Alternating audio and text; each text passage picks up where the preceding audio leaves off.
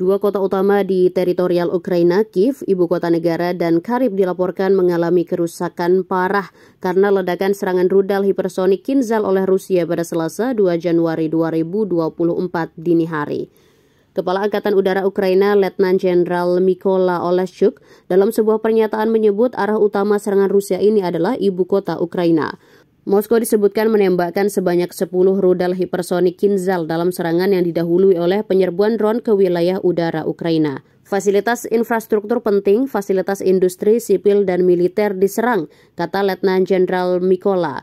Dalam video serangan rudal Rusia yang beredar di media sosial, ledakan rudal hipersonik Kinzhal Rusia ini membuat Kiev memandikan cahaya.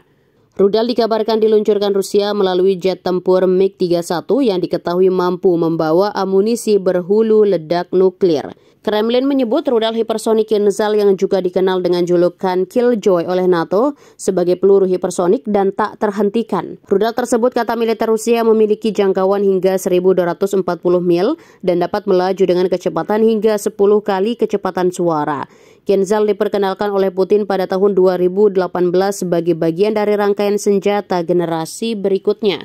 Namun para pakar barat mengatakan pelabelan rudal hipersonik oleh Moskow menyesatkan. Barat juga menilai Moskow terlalu berlebihan soal kemampuan rudal hipersonik Kinzhal.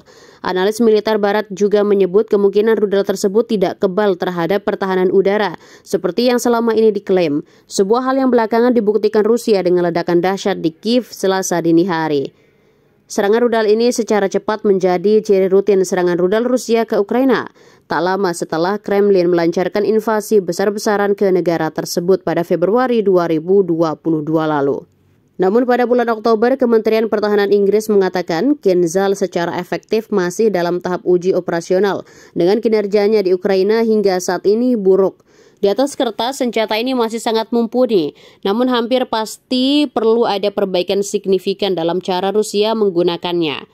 Atas bukti serangan terbaru rudal hipersonic Kinzhal ke Kiev ini, Rusia sepertinya menerima saran dari Inggris dengan menyempurnakan bom berkecepatan tinggi tersebut.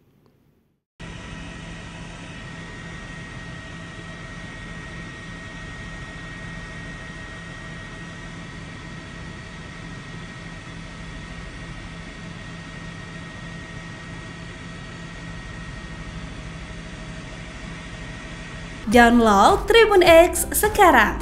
Menghadirkan lokal menjadi Indonesia.